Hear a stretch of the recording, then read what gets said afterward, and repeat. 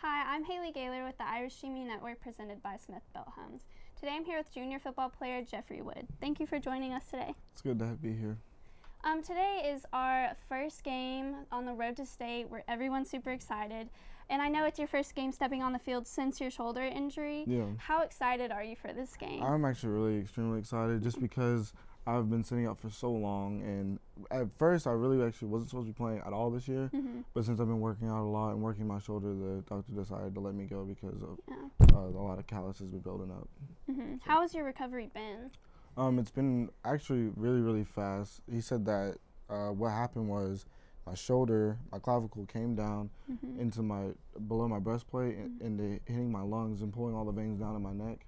And then whenever they put it back in place, Yeah. then it was just instantly it started healing. So it was really good for me. Yeah. So when you say it was really good for you, do you think this injury in the recovery process has it been beneficial to your playing? Um, I think it has. I think that I'll come out with a lot of like fire tonight. I think that I'll um come out yeah, just pretty much come out with a lot of intensity and a lot of passion just because I've been missing the game so much. Yeah. Has anything in particular kept you strong and motivated in this recovery process? Well, when I came out, when I got out and I went into the uh, training room, I had to look in the trainer's eyes and he told me that he doesn't know if I'll be able to play football anymore. And I got really upset about it and I basically felt like I let my team down. And then when I Mhm. went back outside, everybody was still playing hard and we were still playing. We were really getting at Fulton. yeah. And my coach just told me that everything would be okay, Coach Brown. And I just, after that, after I saw that my team was still doing well without me, I felt like it made it more comfortable for me. Yeah, I know like with injuries it can be super hard to get back and it's amazing that you're stepping on the field tonight and I know that's going to be such an awesome feeling for you.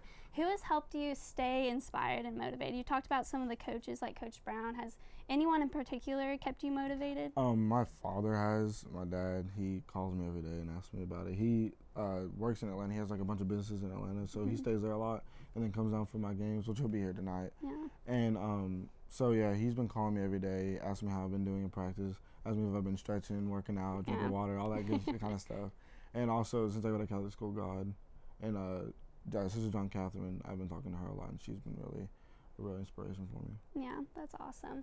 And I know the season's coming to a close, which is not fun because it's your first game back Yeah. from an injury. But what has been your favorite memory so far with the team? My favorite memory so far with the team has just been, um, well, mainly my injury, just because it opened my eyes so much Yeah. about like any play could be the last Yeah. play. And I only got two runs against Fulton, but I'll get a lot more whenever we that come next week. Yeah, exactly. And straying away from the injuries in football, um, let's talk about your music. I know last interview we talked about how, aside from football, you have a love for music. Yeah. And tell us about some events or news that's coming up with that. Um, well, I don't know if you guys know, but uh, I don't know if you guys, I don't know if you know the artist Future. Do you know who that is? yes. Okay, well, he we will be performing with him soon, and uh, Tory Lanez and Travis Scott at Ole Miss at Mhm. the university, t- uh, towards like the starting of the summer, and then I have my own tape I'm releasing soon, either the end of this year or the beginning of next year. But I've started on it, and it'll be eight songs, and one track won't be a song. It'll be like, um, actually, I don't, I don't want to get, I don't want to give away too much. Don't want to spoil Yeah, I don't want to spoil it, but um, just pretty much one of the tracks is going to be like a storyline about my life and how Mhm. I feel that nobody else knows about. yeah. So it'll show a little piece of me that nobody else knows about. Well, that sounds awesome, and I can't wait to hear it. Yeah, Well, thank you for joining us today, Jeffery. it's good to be here. I'm Haley Gaylor with the Irish Streaming Network presented by Smithbilt Homes. Thank you for joining us, and go Irish.